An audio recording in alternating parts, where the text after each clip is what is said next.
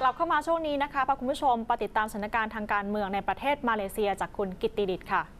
ตามกำหนดการแล้วนะครับที่มาเลเซียจะต้องมีการเลือกตั้งใหญ่ในปีหน้าครับ แต่ปรากฏว่าเมื่อวานนี้ครับนายกรัฐมนตรีนาจิบ ราซักได้ออกมาประกาศ ต่อหน้าผู้สนับสนุนนับแสนคน บอกว่าอาจจะมีการยุบสภาแล้วก็เลือกตั้งก่อนกำหนดครับ สมาชิกพรรคอัมโนเกือบ 1 0 0 0 0แสนคนได้มารวมตัวกันที่สนามกีฬาแห่งชาติบูกิตจาลิล ในกรุงกัวลาลัมเปอร์เมื่อค่ำวานนี้นะครับเพื่อเฉลิมฉลองครบรอบ 71 ปี การก่อตั้งพรรคอัมโน โดยนายกนาจิปราซักครับที่เป็นประธานพรรคกล่าวชื่นชมว่า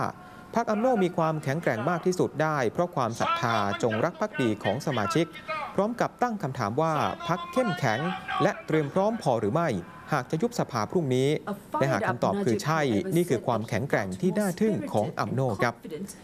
นอกจากนี้เขาบอกว่า 4 เหตุผลที่ทำให้พักแข็งแกร่งก็คือ 1. ไม่ละทิ้งอุดมการณ์พื้นฐานของพักในการต่อสู้เพื่อผลประโยชน์ของชาวมาเล 2. ครับต่อสู้เพื่อทุกคน ทุกศาสนา ทุกเชื้อชาติ ไม่ใช่แค่เฉพาะสมาชิกพักอัมโนเท่านั้น 3. ปรับตัวเหมาะสมกับยุคสมัย และ 4. มีวิสัยทัศน์และลงมือปฏิบัติครับ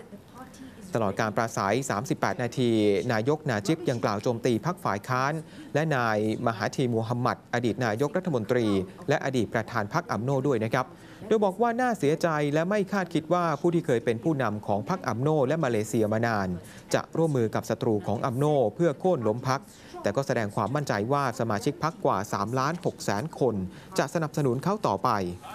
พรรคอัมโนนั้นปกครองมาเลเซียผ่านรัฐบาลผสมของมาเลเซียตั้งแต่ที่ประกาศเอกราชในปี 2500 ครับ และถูกกล่าวหาบ่อยครั้งเรื่องการคอร์รัปชัน และละเมิดสิทธิตามระบอบประชาธิปไตยดำเนินนโยบายเอื้อประโยชน์เฉพาะคนเชื้อสายมาเลซึ่งเป็นประชากรส่วนใหญ่